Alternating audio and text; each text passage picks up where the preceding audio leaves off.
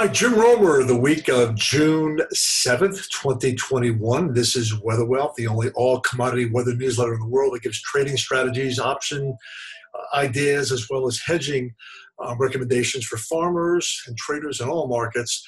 Now, why am I showing this dome in India or the Dome of the Rock, of course, in Jerusalem, or this dome on top of my head? Well, we're discussing the Corn Belt dome. The dome that you see here that can sometimes create bull markets in corn and soybeans. Certainly, we've seen an explosive reaction in corn and beans uh, late last week and on Monday.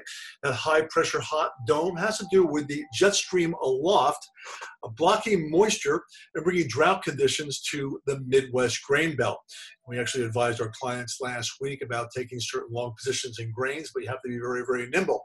The corn belt uh, about 20 to 30 percent of the world's corn crop grown there from South Dakota all the way across Iowa, Nebraska, into Illinois. What's getting people really excited right now is this red area you see on the top of your screen that helped spring wheat rally about 30 percent, 20, 30 percent over the last uh, few weeks. That spring wheat drought expanding into the Western Corn Belt right now, and that's going to create a lot of excitement. It has uh, throughout the course of the summer. Other types of domes, well, there's also the Bermuda High that you've all heard about that steers hurricanes. When you see the high in that position, usually you have more hurricanes going toward Florida and the southeast coast.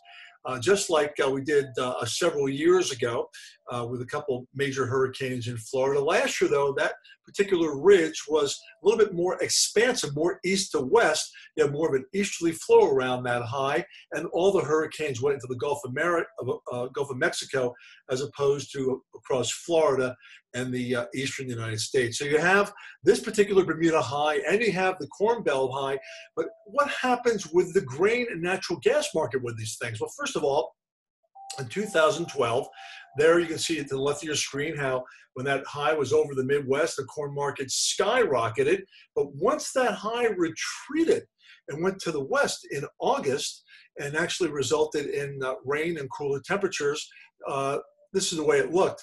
Um, the record heat uh, out west, uh, the ridge moves too far to the west from the Midwestern grain belt. And as a result, look to the right of the, your screen there, both natural gas prices collapsed during the second half of the summer of 2012, as well as also grain prices after seeing a high in uh, July of 2012. Look at that bear market that extended the rest of the summer. Once again, that's because that big dome moved to the west over California and the Rockies.